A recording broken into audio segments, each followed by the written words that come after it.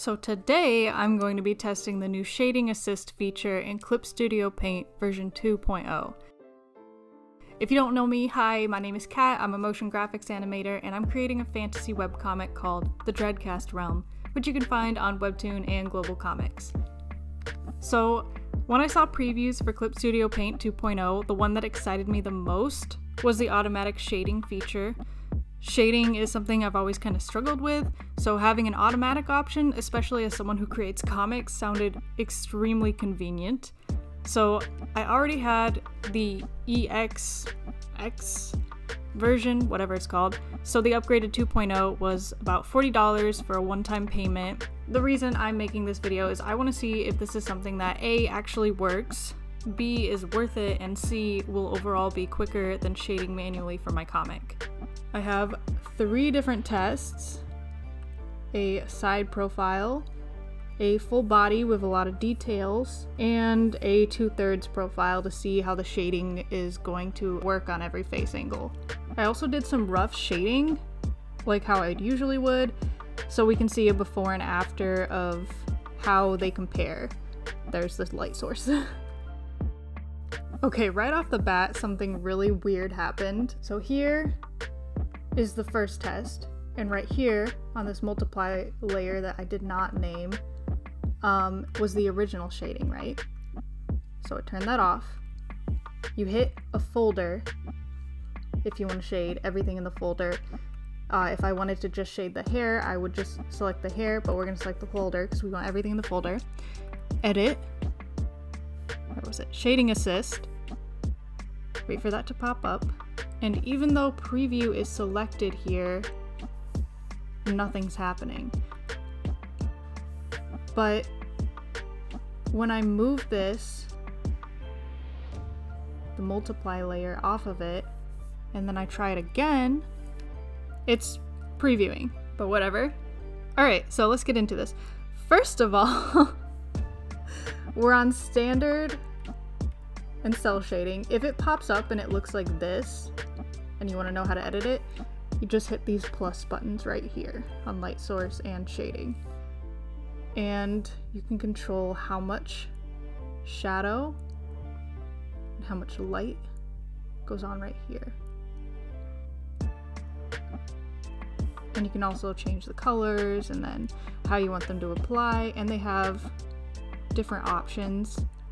So we could do like night scene. This panel takes place at night, so technically it would be this one. That doesn't look bad. I see some like small issues. Um, the main thing I'm noticing is how weirdly chunky it looks right here. If we shade this to smooth shading, here's what it looks like.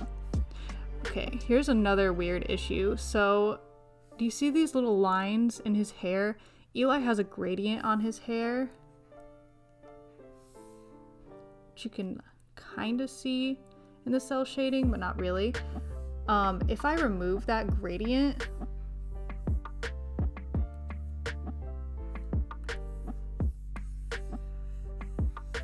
gosh, it changes eyebrow color. If I remove the gradient and add it in after I do the automatic shading, it won't be an issue. So automatic shading does not like gradients. Noted. All right let's apply that shading again. Takes a hot minute, but that's okay. Put it back where the light source is, and I'll change it to night again. Change it from ball light, directional light, that's pretty nice. Not bad. Okay. Let's just hit okay. Alright. So what that does is it creates those layers right above your source. And you could also go in and smooth them out. But let's do another test. Okay, test number two. This is full body, front facing, but there's a lot of details and we're gonna see if that's going to mess with the automatic shader or not. Here's the original shading. I'm gonna move that out of the way because apparently it doesn't like that. And let's go. I'm gonna get my reference sun back up again so I know where to put it. I swear I usually label my layers, but this was just like an experiment, so I wasn't putting that much effort into it. Don't judge me. Okay, edit. Shading assist. Let's go. Okay. Doesn't look like the details are affecting it, so that's good. Let's change it to standard. Oh, I, I spoke too soon. I spoke too soon. oh. That kind of looks pretty, but it's that's definitely not how light works. Coming from someone who kind of sucks at shading, but let's change this to smooth shading, see how that looks. It's kind of pretty. But I added these folds in here dress because, oh yeah, see, weird details again. There would be more shadow where the dress folds. Let's change this back to standard cel shading and let's play around with the colors for a little bit.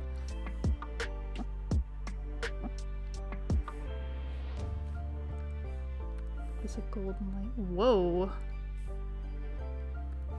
Okay, never mind.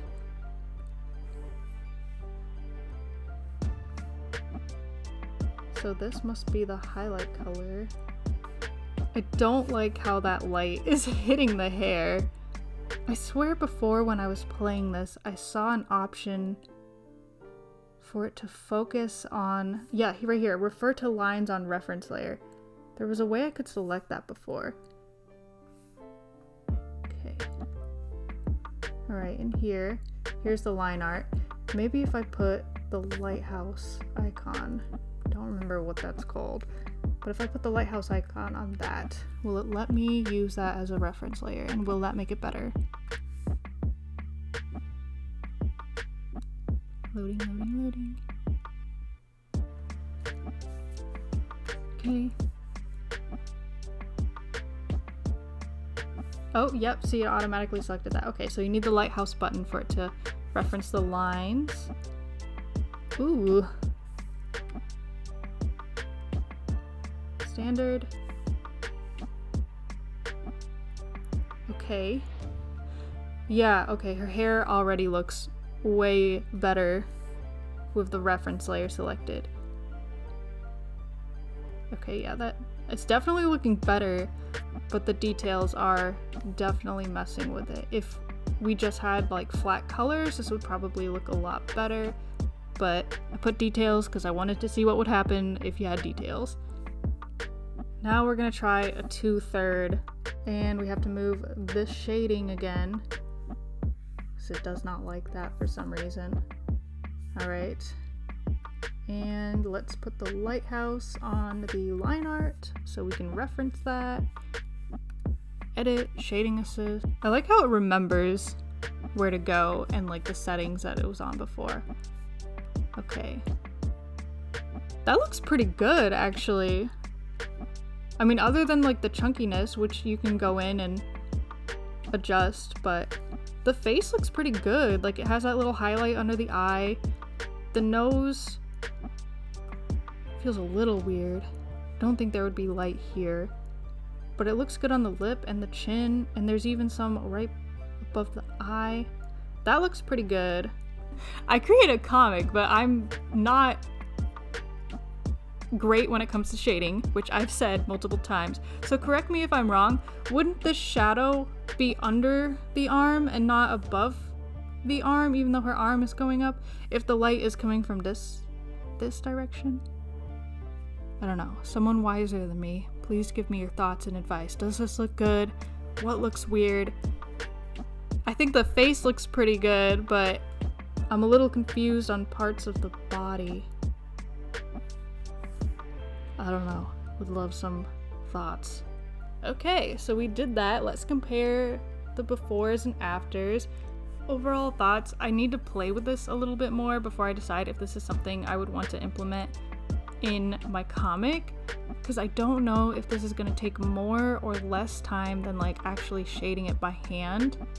It'll probably take less time, but then how long would it take to make all the adjustments by hand to make it like smooth and to make it more accurate, would that take just as much time as actually shading it by hand? And would it look better? What do you think? Did it look better with the shading assist? Did it look more accurate with the shading shading assist feature? I don't know. Would love your thoughts. But thank you for joining me on this journey of playing with the new 2.0 shading assist feature. I think it's really cool. I hope it gets a little better, but I think it's a good start. What do you think?